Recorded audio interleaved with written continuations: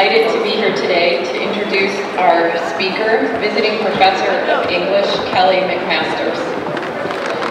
Um, as you know, Common Hour is a time when the Franklin and Marshall community convenes to receive word from a person whose experience and accomplishments have had a profound effect on the world, and from whom we know we can expect wisdom, insight, perspective, and also sometimes challenge and controversy. Usually we import these special speakers to Lancaster. And this makes sense given how easy it is for the recognized experts, the Nobel Prize winners, the uh, world-renowned um, scientists, and uh, highly accomplished artists to just jump on a plane and come our way. But there are also times, and today is one of them, when we turn to a member of our own community and ask this person of substance and accomplishment to speak about their experience and their success. It is especially fitting that our local guest today is Kelly McMasters. As I said, she's a visiting professor of English She's also a highly acclaimed writer of literary nonfiction, a very experienced teacher of undergraduate and graduate students, and a nationally recognized activist. Kelly's work is an example in every way of how people close to us, our local community, individuals whom we might think of as fairly ordinary, um, are capable of great things and in need of being attended to. Welcome to Shirley, a memoir from an atomic town, is Kelly's story about her blue-collar hometown of Shirley, Long Island, a place, as she says, full of strong, hardworking families and an abundance of natural beauty that would be devastated by the environmental catastrophe of a nearby leaking nuclear laboratory. I like to think of it as equal parts detective story and first-person recollection. This book reveals the terrible effects of government neglect on working class communities, not only on Long Island, but also across the country. As a journalist, McMasters writes with precision, affection, and venom about the history of her hometown, says Donna Seaman of Booklist joining the growing circle of environmental health memoirists, McMarshall, McMasters marshals, excuse me, the facts and articulates feelings with eloquence and drama, telling stories of personal suffering to expose crimes against the public and against nature itself. Welcome to Shirley was listed as one of Oprah's top five summer memoirs and is also the basis of a documentary film, The Atomic States of America, which was a 2012 Sundance selection.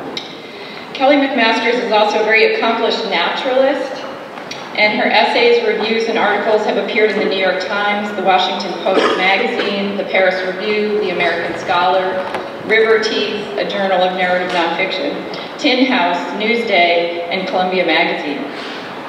Most recently, Kelly published a year's worth of essays on the Online Paris Review about her experiences founding and running an independent bookstore called Moody Road Studios in Honesdale, Pennsylvania. This was a kind of frontier experience in which she combated the e-commerce industry literally one reader at a time. Virtuously modest and insanely ambitious in equal measure, Kelly succeeds in her work in showing all of us how, can we, how we can act singly and locally to change the world. Please welcome Kelly McMasters.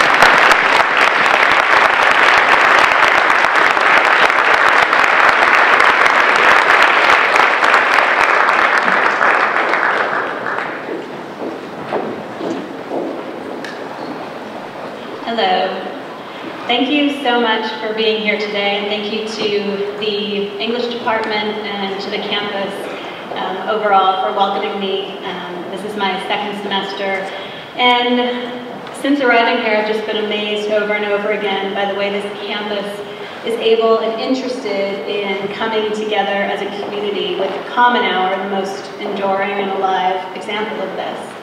Um, The Writer's House is another beautiful example where writers can come together and non-writers, people who are readers, and join community. That's part of what I'll be talking about today, so thank you. And thanks for um, deciding to spend this snowy day here with me. A, a college friend recently reminded me that when I was in school, snow days meant grabbing a tray from the cafeteria and sliding down our Sunset Hill, um, and which I think is would be in Buchanan Park for you guys. So thanks for choosing to spend your free hour today here instead of out in the snow. For those of you fortunate enough to have been in the audience this same time last week, you probably heard the brilliant Marcia Chatelain talk about what it means to be an activist. And so I hope today will feel like a natural continuation of that conversation. At one point, Professor Chatelain also talked about the meaning of place, saying our homes are not just where we rest or sleep, they're part of communities that teach us what is important. I'd like to open my time with you with exactly that thought. Everyone in this room came from somewhere. Each of you has a story about your home. My book, Welcome to Shirley, a memoir from an atomic town, is exactly that. A complicated love letter to the place where I first learned what is important. As Dr. Sheridan said, um, Shirley is a small blue-collar town on the south shore of Long Island, a hardscrabble service town to the Tonier Hamptons, which you've probably heard of, just a few exits east. What most folks from there didn't know is the story of another neighbor just north of us, smack in the middle of the island, the Brookhaven National Laboratory, a federal nuclear facility. This uncomfortable triangle of privilege, working class shame, and organizational arrogance made for a potent powder keg, one that exploded in the late 1980s and early 1990s when I was in high school and the lab was named to the federal Superfund list of the nation's worst polluters. My book is full of homegrown activists who saw something wrong and chose to fight for what they felt was right. There's Richard Lippes, an environmental lawyer who handled Love Canal and represents a class action lawsuit against the lab involving many of the families from Shirley. There's Randy Snell, a father and a local bank manager who became the voice of a childhood cancer cluster surrounding the lab when his three-year-old daughter Lauren was diagnosed. And there was Diane Sackett Nannery, a postal worker who played a huge part in establishing the pink ribbon stamps we probably all use to mail letters, even now, 10 years after she died of breast cancer. My activism was different, though. I didn't organize or protest or circulate petitions. Well, I've actually done a lot of that in my life, but not for this book. Um, instead, I saw an untold story, and I told it. Speaking into silence is another kind of activism correcting the record, and including voices that other people say don't matter. Now, this book doesn't speak for the town as a whole. Instead, it is my attempt to tell a story about legacy and how the decisions we make based on survival today, what we put in the earth, what we put in our bodies, what we put in our hearts, follow us into our families and our homes. The ability to helix science and geology to a personal story is the beauty and power of memoir. I like to joke to my students that I am their ambassador for creative nonfiction. But what I don't often tell them is the reason I feel so strongly about the genre. Quite honestly, it saved me. I didn't just rewrite the story of a town. I rewrote the story of my home I reclaimed something that despite being told was less than and disposable, I knew to be a source of beauty and strength. A few weeks ago, I had the opportunity, as probably a few of you did, to see Anne Lamott speak over at Lancaster Bible College. And she talked about the power of two simple words, me too. Her talk was about building community, about finding human connection. This is the heart of creative nonfiction writing. When you come from a broken place in our society, you are told over and over by the government, by the media, sometimes even by those who love you, that you are worthless. I wanted to rewrite the official account because the official account didn't include the voices of the people I loved. I can't tell you what to think about nuclear energy, or politics, or the environment, and I wouldn't want to. But as a nonfiction writer, I can show you my experience and leave space for you on the page to walk next to me for a while. Through writing, we can create community. Through writing, we can say, me too.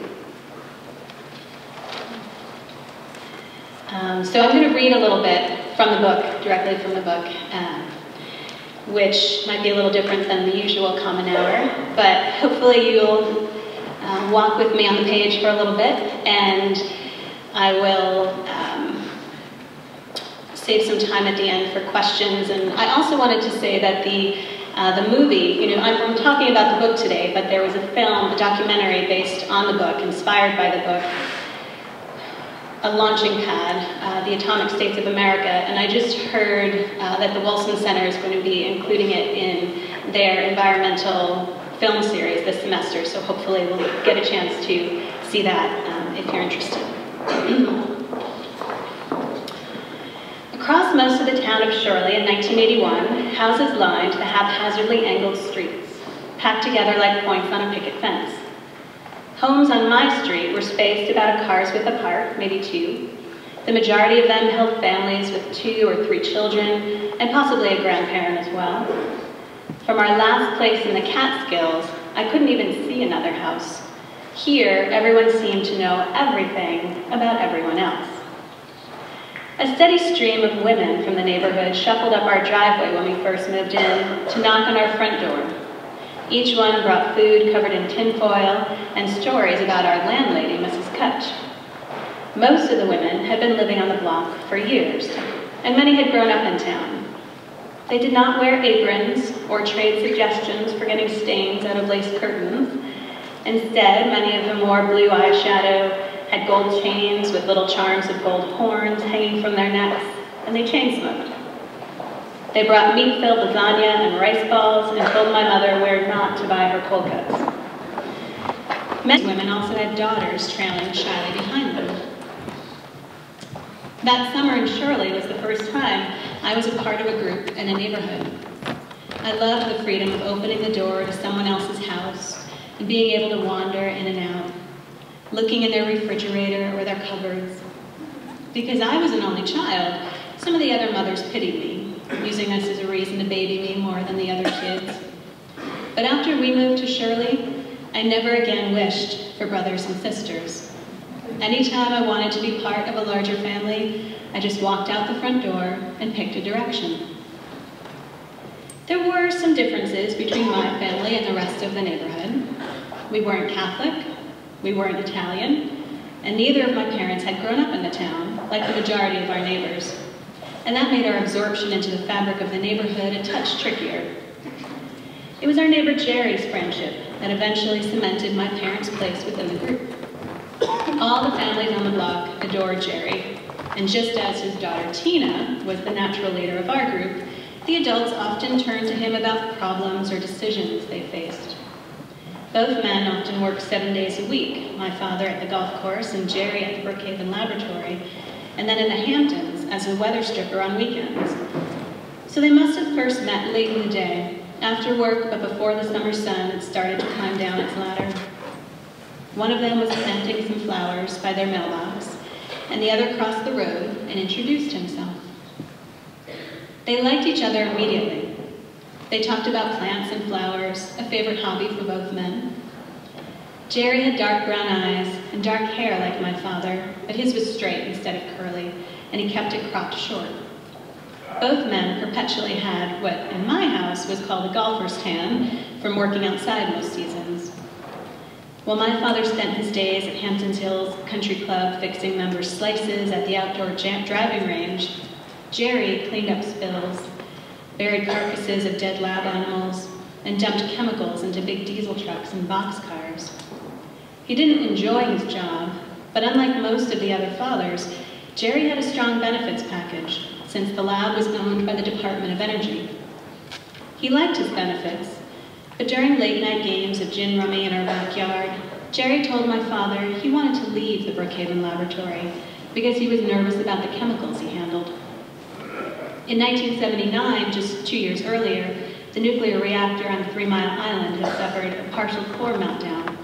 And since then, Jerry would never let his wife or kids touch him when he got home until after he showered. If we were playing out in the street when his truck pulled into the driveway, he would hold us back by our foreheads, shouting that at work he'd been green slimed, a term from a popular Nickelodeon television show at the time, and had to wash up.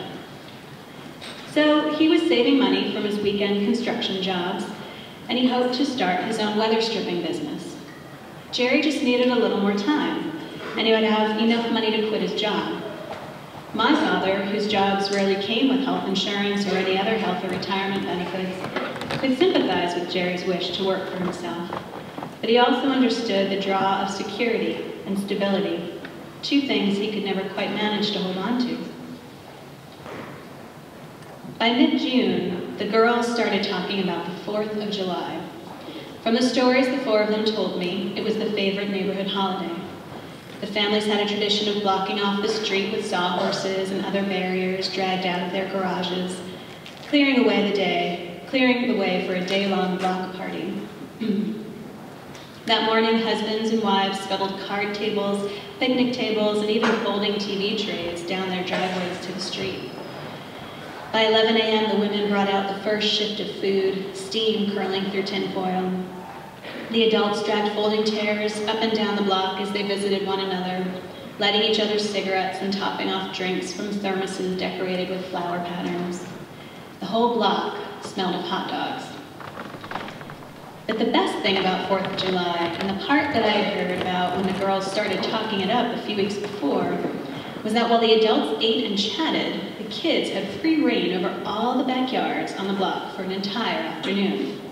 We spent hours going to the key backyards that had swing sets, lobbing our bodies as high as we could before jumping off, and then we headed to the special one that had an in-ground pool. Our favorite game was mermaids, and the wiggle movement had to start in the head and end in the feet, ripple after ripple. We imagined green iridescent tails, long tendrils of hair flowing behind us, underwater gardens of exotic flowers. Never mind that we were squat or scrawny, bee-stung, mosquito-bitten, awkward with knotty hair. In the water, we became beautiful. The 4th of July also happened to be Jerry's birthday. The entire neighborhood gathered at sundown for his birthday cake, singing to him as he pretended to be surprised, the girls and I still in our soggy, chlorinated bathing suits. The adults who had not already retired for a nap after too much sun and booze ate cake, and Maria brewed endless cups of coffee until the night turned navy blue. As the scrubby tops of the pitch pines pierced the darkening blanket of sky overhead, the neighborhood congregated at our end of the block, standing between our house and Jerry's, as the men prepared the fireworks with the wildlife refuge as a backdrop. Joe had relatives in Brooklyn and Queens who always came out the week before the holiday with car trunks full of M80s and jumping jacks. Only the men were allowed to set the fireworks off, pulling lighters from back pockets to, lick, to light the wicks sticking out of coffee cans and pails of sand. One after another, the flares would be sent up into the night and explode with color so blinding I could still see it, even when I shut my eyes. There was a charge in the air with the men together, moving a bit sloppily after a day of drinking, and the wives or mothers calling out warnings in cautious tones every few minutes. For much of the evening, the girls and I danced around with our own sparklers, writing our names against the inky canvas at night. When those were gone, we simply watched wide-eyed, clapping with each colorful explosion or shrieking over the seismic booms of the M80s until full of cake and exhausted after swimming all day, we let our heads loll back against a cushion of grass. After the last firework was set off and the rickety tables had been dragged back up the driveways, Our fathers scooped our limp bodies off the ground and slung us over their sulfur-scented shoulders, laying us on our beds on top of the covers and sheets, the muffled sounds of distant fireworks bursting into our dreams. After the 4th of July, the rest of the summer days were still spent traipsing through the refuge or hopping through sprinklers. By early August, the girls and I were gathering on the uneven street in front of our houses almost every evening, where the sharp tang of barbecue mingled with the sweeter scents of chlorine from our hair and sweat from our bodies. At that hour, televisions hadn't been turned on for the night yet, and neither had porch lights. We relaxed under the unfolding arms of the oaks and pines that reached toward each other from the opposite sides of the street. We traded stories and jokes, listening to the sounds traveling freely between the small, tightly packed homes, the murmur of after-dinner conversation, the rhythmic beating of a box fan lazily circulating the cooling air, the soft clink of dishes being washed under an open window. After dinner on these summer nights, the girls and I would mill around in the middle of the block, waiting for Jerry.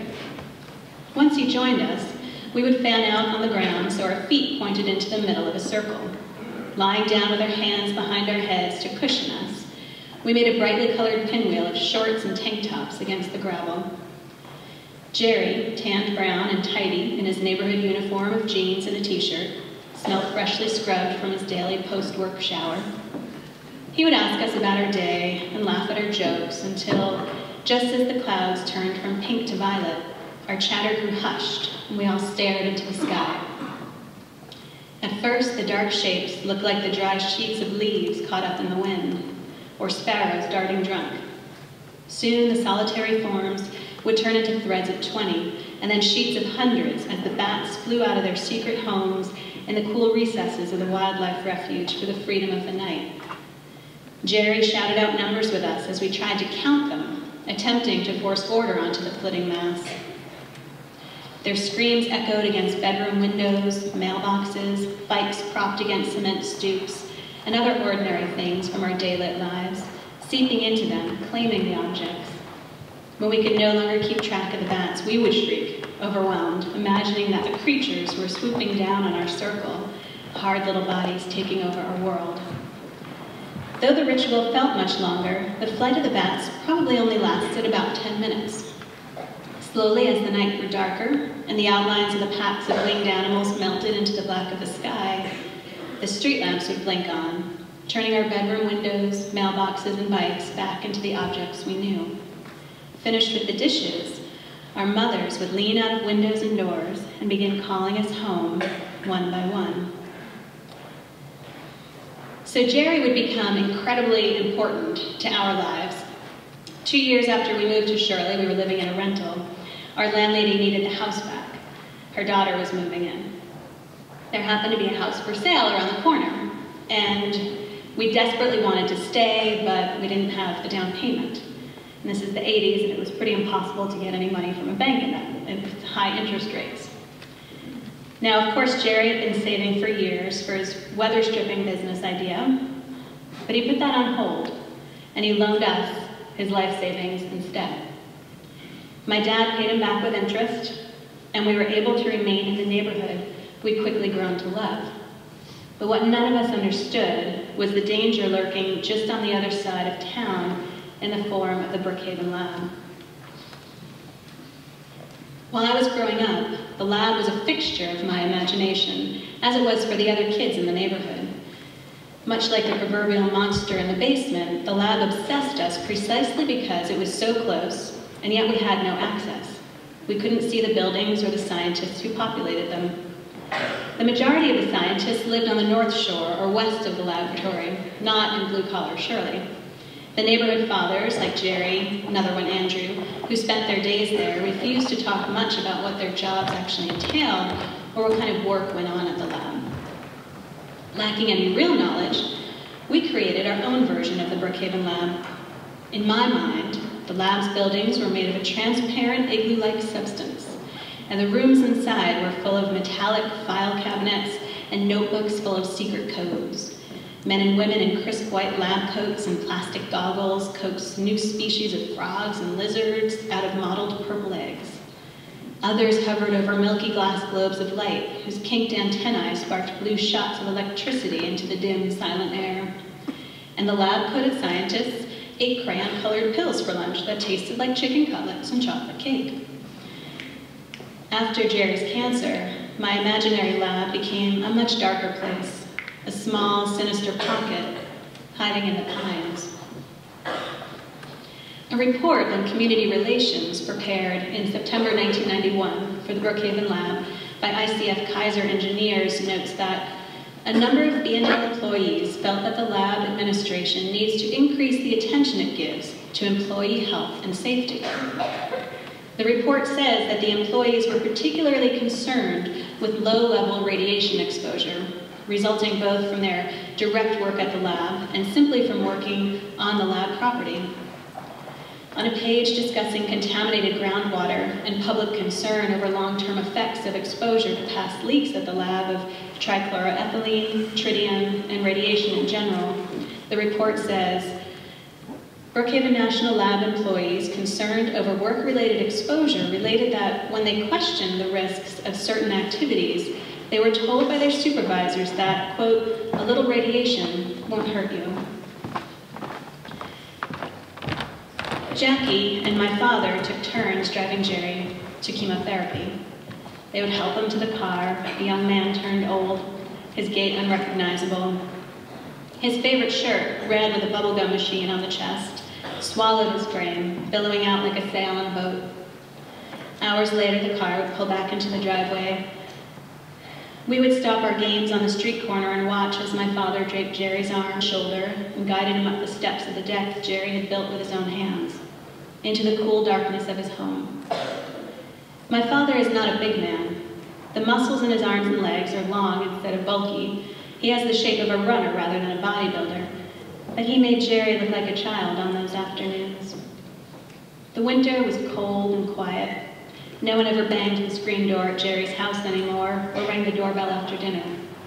As spring lights started to peek through the blinds of the living room, however, there was a hopeful turn.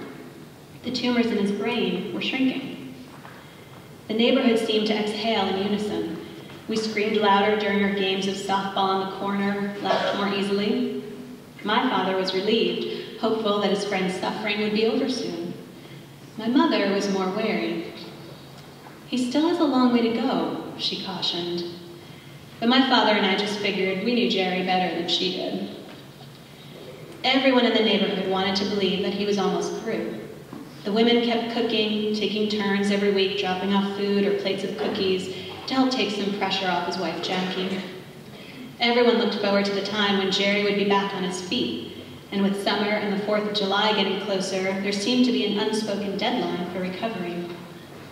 The brain cancer was in remission, but had metastasized into his lungs through a complicated rope ladder of knotty lymph nodes. As Jerry grew sicker and the drugs that the doctors gave him to ease his pain became less and less effective, my father focused on alternative therapies. The men spent hours working on meditation and visualization. They breathed in unison, deep breaths in and out, counting backward and forward, imagining a cloud of relaxation moving up their bodies from their feet to their skulls.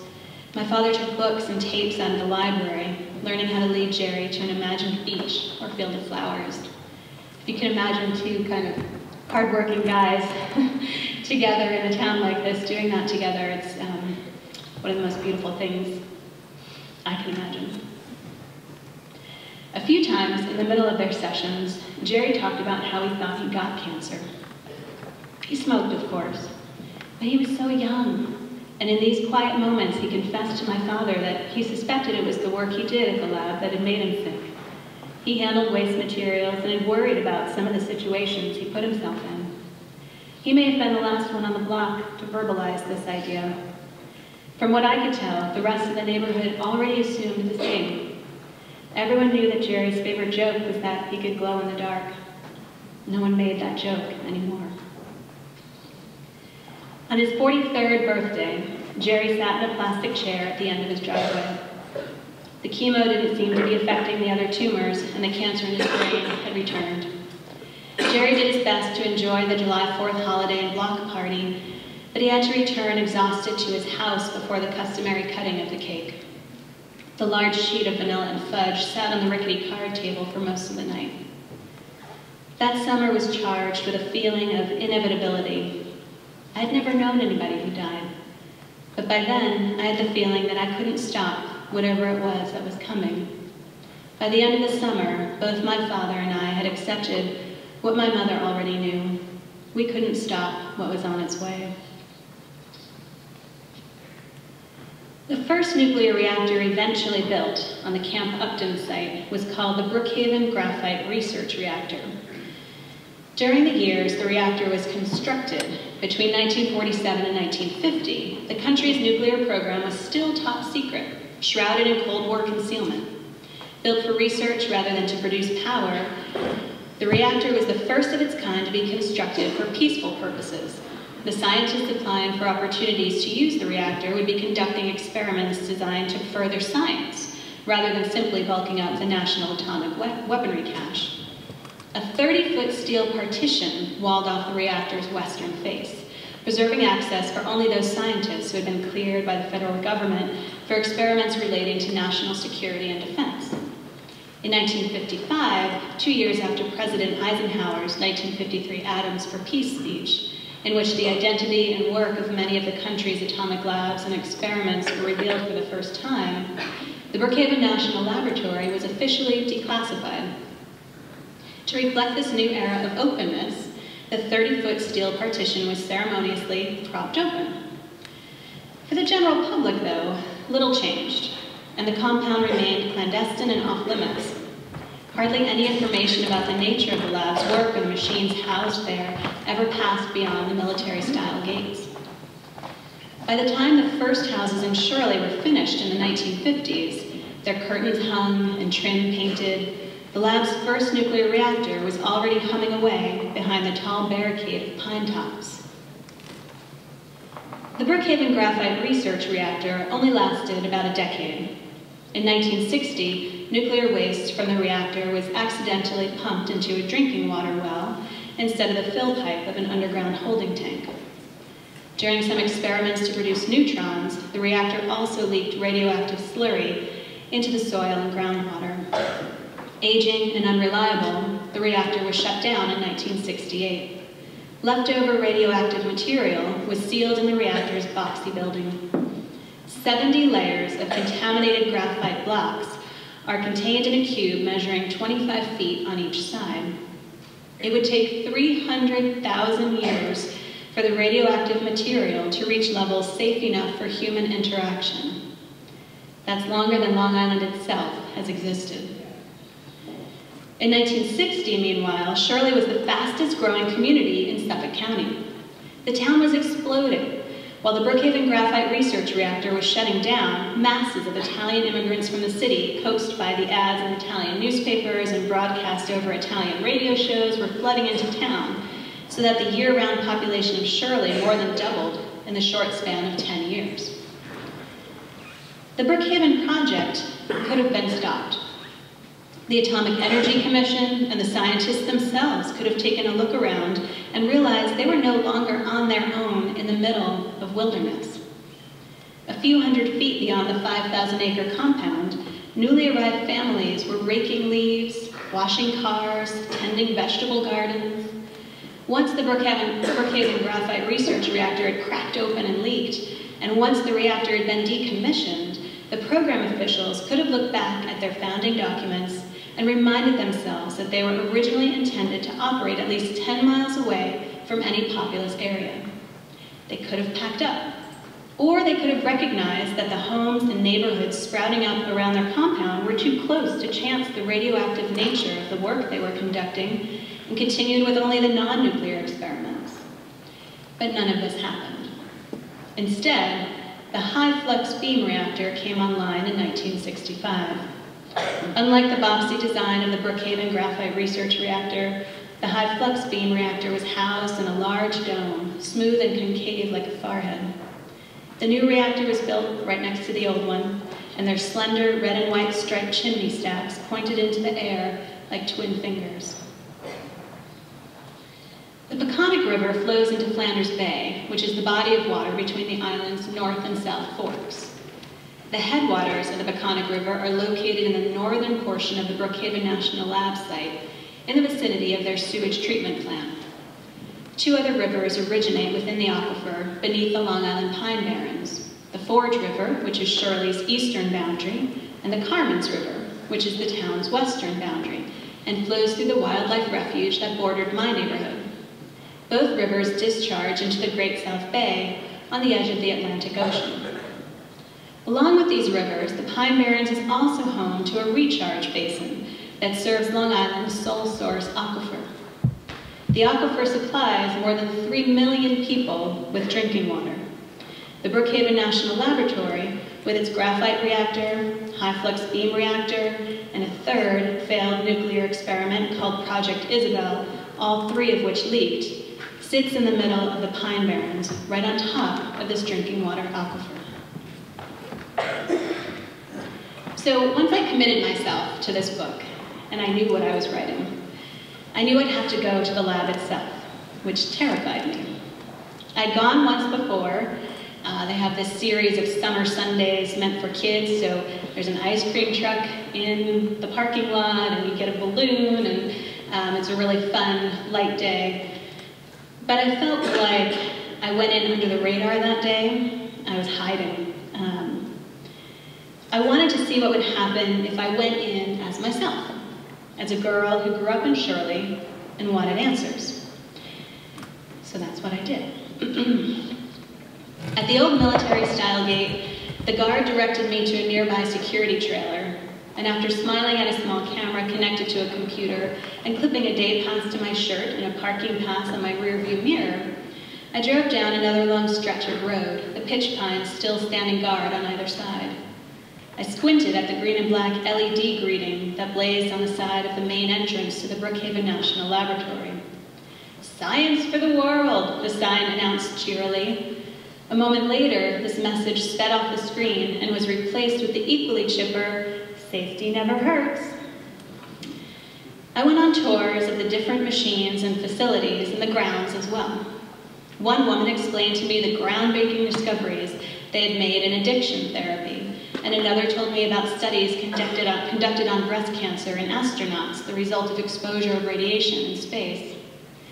On one tour, we passed the Gamma Forest, the result of exposure to the, sorry, the Gamma Forest, where between 1961 and 79, scientists bombarded almost 200 acres with cesium-137 in an attempt to discover how vegetation would react in the event Russia dropped a nuclear bomb on us. The trees are still dead in a bullseye pattern surrounding the spot where they had left the cesium out in the open. Later during that same tour, I walked through the quiet of the pines and a man showed me foxholes, left over from the Camp Upton days. They're some of the only remaining trenches still intact in the country today. I was taken on tours of the Highfield MRI facility, the positron emission tomography facility, the National Synchrotron Light Source Accelerator, I was told about incredible studies in unparalleled science, about heavy ion colliders, particle acceleration, and nanomaterials. But I still hadn't found the information I was looking for. So I tried another way. Over a turkey and cheese sandwich and a side of chips, compliment of my escort, I had listened to the U.S. Department of Energy's press manager speak with welcome candor about the lab's failings to communicate with local communities, particularly Shirley, over the past few decades. His open and relaxed manner and the small gold hoop in his left ear were as much a relief as his admission of imperfection on the lab's part. The first I'd heard following a string of very defensive interviews. Immediately after he left our small table in the Berkner Hall cafeteria, however, my hostess had made it clear that none of what he said or anyone else had said that day was to be considered on the record. It was the first unfriendly moment between us, and I prepared myself for another as I asked her to explain what she meant. I don't understand why you want to rehash all the pollution issues when they've already been the subject of newspaper articles. Why do you want to bring all that up again? Her eyes narrowed. Well, I began, I'm interested in telling the story from Shirley's point of view. I'm interested not just in the lab itself, but in the way the relationship between the lab and Shirley has impacted the town. She smiled a small, tight smile.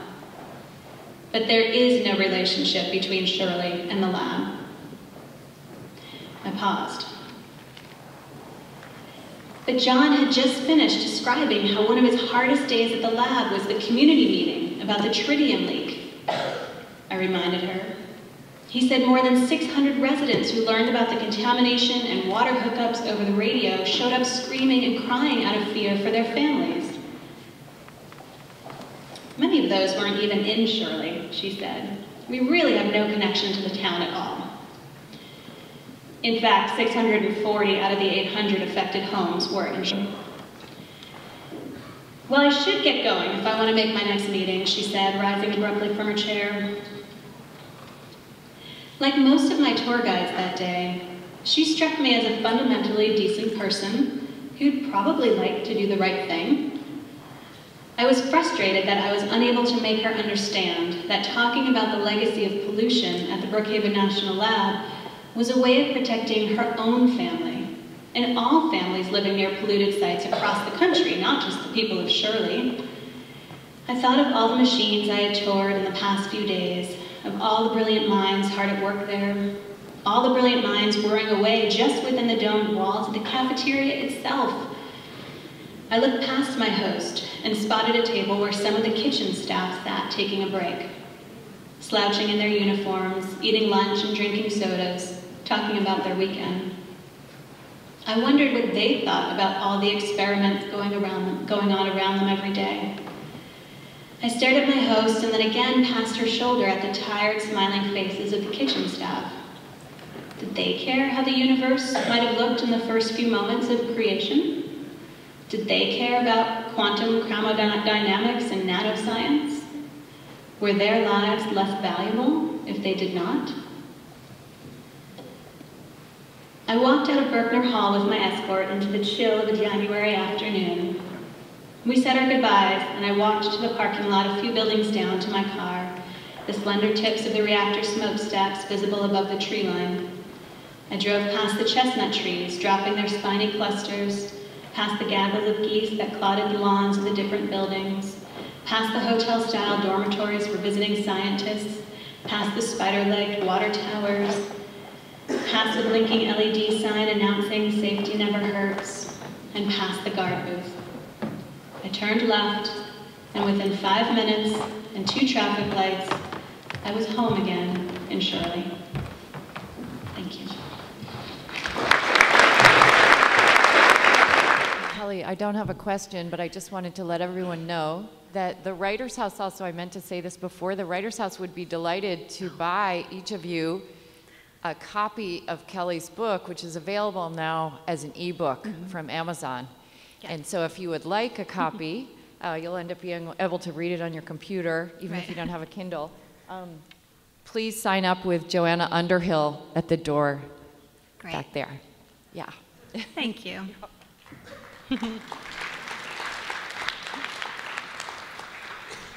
hey. Hi, Professor McMasters. How Hi. are you? Good, Tyler. Um, so my question for you is a two-part question. Okay. First part is, when did you know that you were going to write this book? Mm. and two, when did you start writing it? And did you include parts that you wrote before you even planned on writing the book? That's a great question. Thanks, Tyler. Um, I started writing it before I knew I was writing it. So I went to, um, well, first I should say I didn't always think, I'm going to be a writer. Um, that was, uh, well, and as anyone who grows up in a kind of blue collar town, you know, I looked around and said, well, I know what the problem is. I know why everybody is struggling. Nobody's wearing a suit to work. So I'm going to wear a suit to work. That's what I'm going to do. And so I decided I was going to law school and was going to um, uh, just power through that way. So I worked in a law firm after college for a little bit and realized that was absolutely the wrong place uh, for me. And I went into journalism after that. And so after a few years of working in magazines, I went to grad school. And when I was in grad school, I just started writing these essays that kept returning to the town. And I didn't understand why.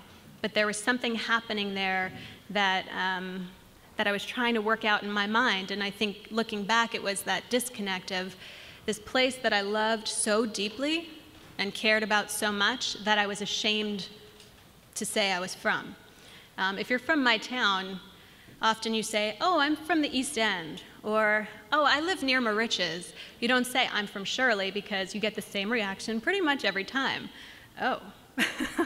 um, and so I think I was writing to understand that complexity.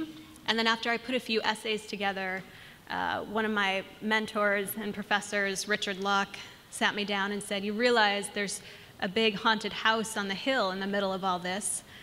And it was the lab. He said, You have to look directly at that because um, that was present sort of on the outskirts of all the essays. So after I realized what I was tracking, I understood the larger story, and then I started to talk about it as a book. But um, but it's still working in isolation, even after having a contract, after thinking, okay, this, is, this really is going to be a, a book. I still didn't quite understand what I was doing, and I remember a few weeks before the book came out, um, Richard Locke again said, So you realize you're taking on the federal government. I said, Oh my God, you're right. Um, so I'm glad that I didn't make certain realizations um, until later on, until it was too late. Uh, and I also remember very clearly taking a reporter from Newsday through the town a few weeks before the book came out and having the sense of what if this is the last time I'm allowed here? What if they read it and they're mad and angry and never want me to come back here and this is and I've just basically kicked myself out of the home that I wrote this love letter to. Luckily, um, I did receive hundreds and hundreds of emails and letters from people in Shirley, and what mostly they said was, Thank you for seeing us. I mean, there's nothing whitewashed. Like, I, I Shirley is a difficult place. There are complicated things happening in that town, um, and the people are complicated. So I told the truth, but they recognized it as the truth and they appreciated it for that. Does that answer? Yep. Thank you. You know, given your personal experience, memoir seems an obvious choice of genre. But mm-hmm. if you had not done it in memoir, do you have any thoughts about a different essay form and how it would have affected it? So, when I first um, wrote, for nonfiction, you generally sell a book on a proposal. And so I had a few chapters and a proposal outlining what I thought the book would feel like. And when we first went out to about six publishers, three came back and said, You know, I really like the journalism. I really like how you dug in and did your research, and all the science is great. The memoir stuff, meh. How about you just go with the journalism and we'll do it, you know, like a um, kind of like a murder mystery. Um, and then the other three said, you know, we love the memoir, we love the town, we love the characters, but the science, I don't know, we didn't really like the science. So we had, my agent and I had to pull back and think, well, what does this mean? Do I make a choice? Or do I figure out a different way to combine them? And um, I did work hard on integrating history, science, and memoir, kind of combining those into one thing. Um, and for me, it was important because I feel like I couldn't reach the readers. If, if, if it was just a memoir, it would feel like I wasn't telling the whole story. If it was just journalism, I would feel like I wasn't telling the whole story. So for me, I knew I, I needed to do the book the way I was going to do it. Um, I have a journalist background, so I write a lot of, you know, where there's no I on the page. I'm also an essayist, so I write a lot of personal essays, but my goal is always to expand and that it's not about me. Just like this book is not about me, it's about the town. I'm just the vehicle moving through the town. So I think memoir in general often gets a bad rap because um, a lot of what you see extolled is, is that sort of navel gazing, uh, me, me, me. If you research and look at the history of the genre, it's not actually uh, meant to be that. And in my classes, we talk about the difference between a journal entry and a memoir, and there are big differences. Um, I think the documentary was an interesting change of form for me. And I think aside from this mixture, the documentary got to a similar place. And I'm not a film person. I learned so much through, in ways of how to see, in ways of how to construct narrative. Um, but I think the documentary form is another place where you can build in history, um, the past, the future, the mix of all those things, and still be real and still tell a true story. Thank you. Hello. Hi. Um, so last week in class, we were talking about how uh, all of our lives can be boiled down into one sentence. Oh no, are you going to turn Um, my lecture on me? so I was curious if uh, Shirley or environmentalism are involved in your one sentence, um, and if not, what would that one sentence be if it's not uh, wrapped up in those two things? You're too smart for me, Karen. That's a great question. And you're right. I do ask my students to think about their voice, their focus, what have they come to the page to say. And looking back at my writing, um, I do consider myself, I'm not sure if naturalist is the right fit, but I consider myself a landscape writer. There's always attention to that in, in, mm, that space between that interaction between humans and the land that we because there's history going both ways right? And i find that fascinating. Um, but i would say most of my stories can actually be boiled down to one word not even a sentence. So now you have to do that. Um, survival. I didn't realize i was writing a book about survival but ultimately to flip it to a question what kind of choices do we make to survive? For family, morality, um, environment, and it sort of covers all bases. But I'm interested in that complicated knot of the choices we make based on survival. Um, and it doesn't have to mean, you know, the, the very dramatic getting enough food to eat survival. I mean our civilized, um, am I a good person survival. How can I move through this world and retain the sense of who I am, what I believe in, and still face and exist in the world every day? Does that make sense? Okay, thanks.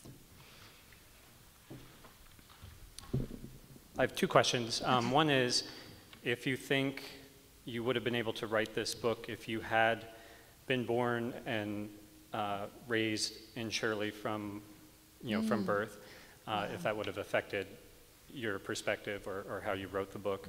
And also, I'm curious if you had any, in the process of writing about your, your own memories or personal details, where, did you have any touchstones that you turned to in terms of, you know, talking to relatives or, um, you know, mementos that helped you kindle those memories?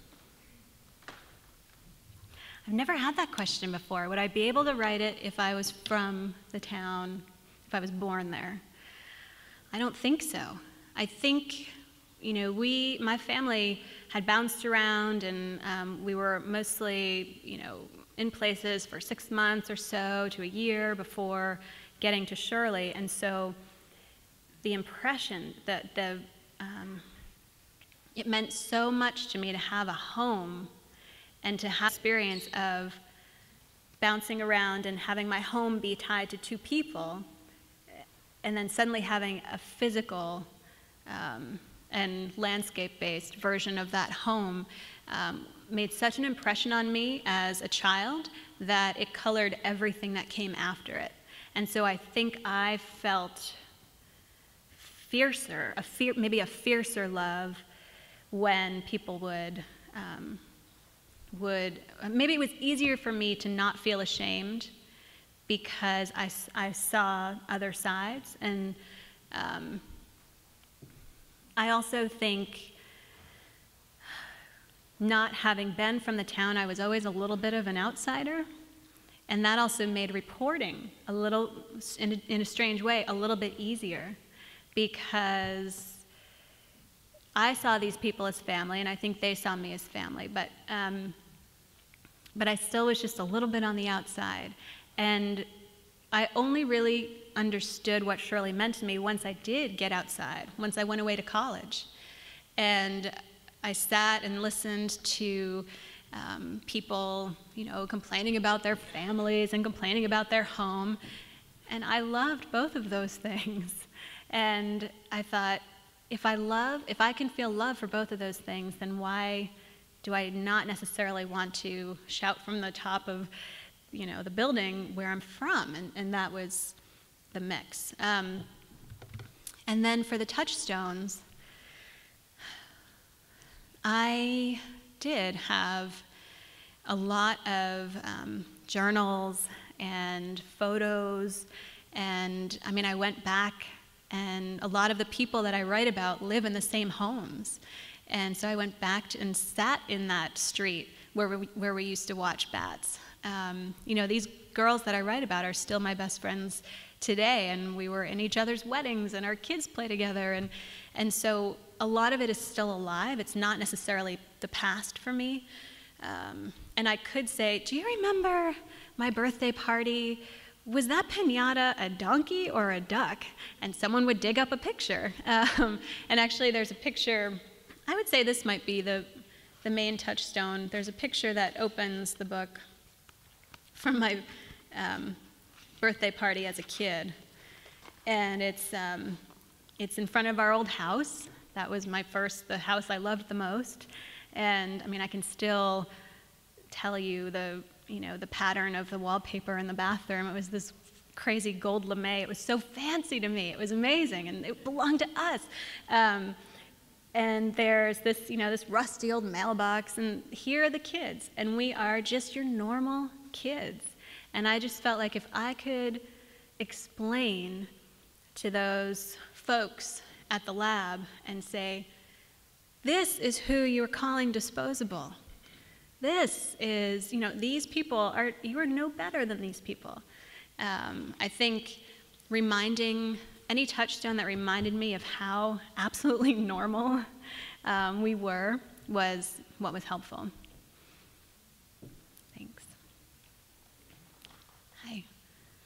Thank you for your reading. I have two questions sure. as well. Um, the first is how did these experiences, either of writing the book or growing up in Shirley, mm-hmm. um, inform your activism? Mm-hmm. And the second is what insight do you have to share with activists who are facing the invasion of their communities by harmful industries? By what industries? Harmful industries. Okay. Um, I would say, you know, like I said, I really I have been sort of a classic activist in the past of protesting and, and doing all those things, and I find um, such worth in those acts. And I do feel like this is different.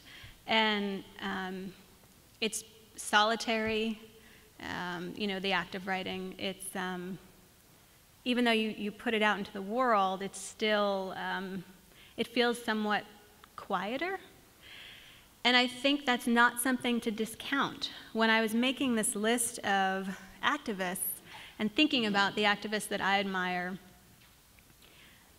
I want to introduce um, the idea of service also as activism, because I think the creation of community, what I was talking about earlier on, sharing of stories.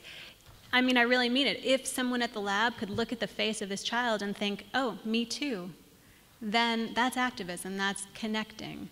Um, in No Words, the social justice group that I'm part of on campus, we uh, talk about, there was this great poet who came last semester, Andrea Gibson, and she said, you know, you can't change minds, so change hearts. And that really speaks to me. In our group, we think we can't change what happened in Ferguson, but we can change F&M. So I think the idea sometimes is to think smaller. And um, I, last night it occurred to me the person that um, who I learned activism from is my mother, and she I never saw her necessarily on on a on a picket line or anything like that. But what I saw was, you know, when I was a child, she brought me to the food pantry every week.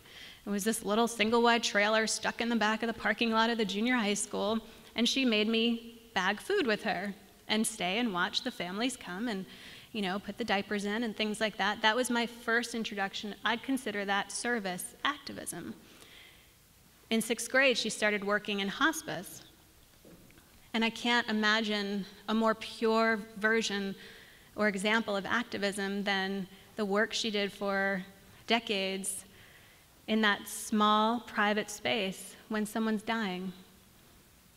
And that's the most connected I think you can be to a human. And so, even though I, I believe in these communities and, and, groups doing things together, I think it, it's also one on one. And I think, um, you know, we talk as writers, a lot of us are introverts. And it feels like, well, I can't be the one shouting at the front. You don't have to be. You can be the one talking to one person, changing one heart, writing your story and sharing that story with one person and changing their heart. Um, I mean, again, within this campus. So I think what I learned also after, you know, writing this book and being asked to be on panels and, um, you know, people would make assumptions. Oh, you're anti-nuclear. I'm actually not anti-nuclear. I'm anti-waste. Um, I think there are a whole lot of complicated questions you have to answer before you can even decide if you're pro or anti-nuclear. Um, but often what would happen is somebody from the other side would come at me and ask me a question, but they weren't going to listen. So that kind of debate, I feel, is often not fruitful. But storytelling, storytelling is human. We learn through story. That's how we relate. Um, so I, for me, and I think what Karen said, um, I do ask my students, what is your one sentence? You know, what is your one thing? We all have to find the, the best way for us to make change. It's not all going to be the same way.